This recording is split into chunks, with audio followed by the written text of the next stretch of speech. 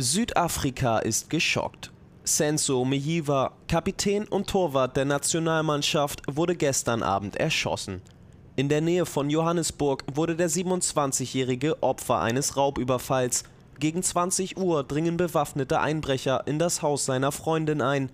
Er wehrt sich, die Situation eskaliert. Nach Polizeiangaben trifft ein Schuss den Keeper genau in der Brust. Noch auf dem Weg ins Krankenhaus stirbt er. Jetzt hat sich Nationaltrainer Ephraim Mashaba unter Tränen zu dem tragischen Unglück geäußert. Ich kann hundertprozentig sagen, seitdem Senso im Team ist, hatte diese Nationalmannschaft niemals Probleme. Weil er immer ein Anführer war, ein Lenker. Die Spieler sahen zu ihm auf und hörten ihm zu. Ich kann mich an keinen Spieler erinnern, der Probleme verursacht hätte, denn alle gingen immer zu Senso und sprachen mit ihm über ihre Probleme. Mejiwa war auch Kapitän des südafrikanischen Fußballclubs Orlando Pirates. Auch dort herrscht pure Fassungslosigkeit. Wir, der FC Orlando Pirates, sind am Boden zerstört.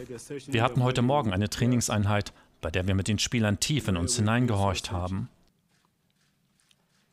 Es war schwierig für mich als Vorsitzender mit der Situation umzugehen, denn Senso Miiwa war uns allen so nah.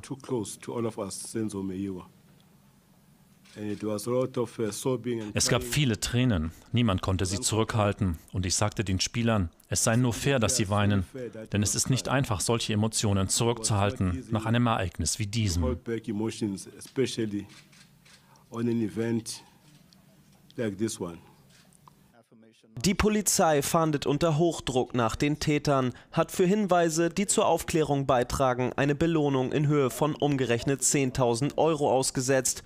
Der Tod des Fußballers hat die Debatte um die Waffengewalt im Land des WM-Gastgebers von 2010 erneut angeheizt. Zwischen April 2013 und März 2014 wurden in Südafrika mehr als 17.000 Menschen ermordet.